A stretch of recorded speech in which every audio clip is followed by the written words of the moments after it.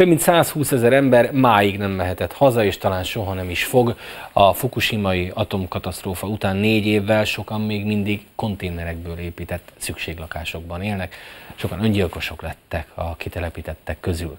Naponta 350 tonnával emelkedik a fukushimai atomerőmű területén gyűlő sugárszennyezett víz mennyisége.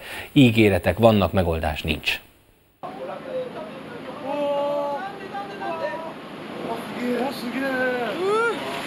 Négy évvel ezelőtt így nézett ki Japán keleti partja. A hatalmas szökőár most éri el az ország partjait.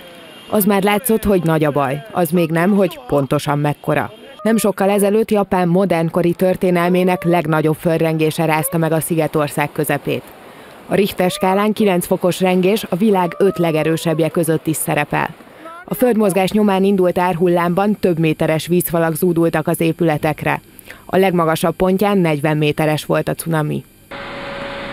De nem csak lakóházakat, hanem a fukushimai atomerőművet is elérte. Japánban ugyan gyakori a földrengés, de a világ egyik legerősebb földmozgását és legnagyobb vízárját egyetlen atomerőmű sem bírhatta ki. Három reaktor azonnal kigyulladt és szétolvadt. Az üzemeltetők a legrosszabb lehetőségeket elkerülték, az erőmű nem robbant fel. Csak majdnem egy évvel később, decemberben sikerült stabilizálni a helyzetet. A baptista szeretetszolgálat munkatársa először másfél nappal a katasztrófa után járt a helyszínen. Azt mondja, bár sokaknak mindenük odaveszett, ennek ellenére nagyon fegyelmezetten és türelemmel viselték a kilakoltatást, vagy például azt, hogy nem volt ivóvízük.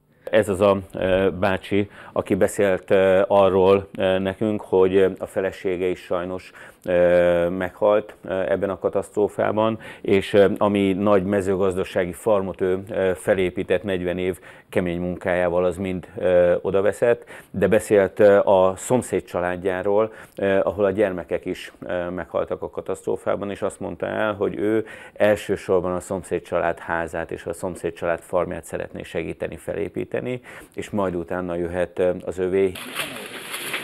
Ez a fukushimai körzet a világ második legnagyobb atomkatasztrófájának elkerített területe.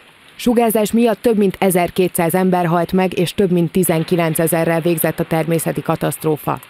150 ezer ember telepítettek ki a reaktorok közeléből, máig nem térhettek vissza az elhagyott otthonaikba. Nem is akarnak. A házam már rég tönkrement, az ajtó leesett, állatok költöztek be. Minden penész és moha borít. Egyszer voltam ott három éve, azóta feladtam. Mondja ez a kitelepített japán nő.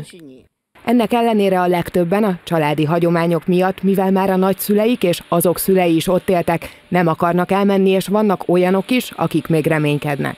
A gyermekek kirajzolták magukból, kijátszották magukból azt a veszteséget, ami, ami, ő érte, ami őket érte egy, egy nagyszülő, vagy esetleg szülő, vagy testvér elvesztésében, és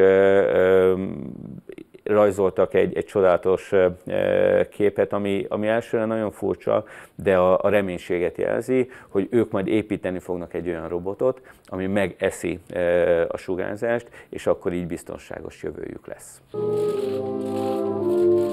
Akihito császár és Abe Shinzo miniszterelnök is megemlékeztek a katasztrófa áldozatairól. A kormányfő megígérte, hogy egy öt éves tervet fogadnak majd el, amely segít megoldani, hogy a kitelepített százezrek idővel hazaköltözhessenek. Marótító tíme a Kerner Zsolt 724.